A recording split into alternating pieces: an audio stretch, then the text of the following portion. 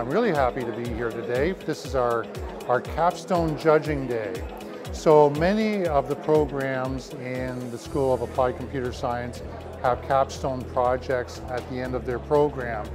Our projects are judged for Best of Program awards by various judges that we invite from industry. Many of them are graduates of our program and they're come back, they've come back to help us out today. A number of them are from our program advisory committee.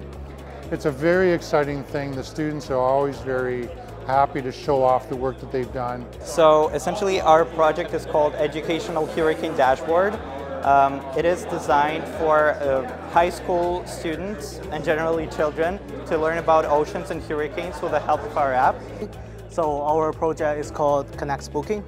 So we are a uh, booking service for our client to book their service with uh, their actual clients and uh, their professionals. I'm presenting the Capstone project, which is a virtual uh, communication and encounters for patients and physicians.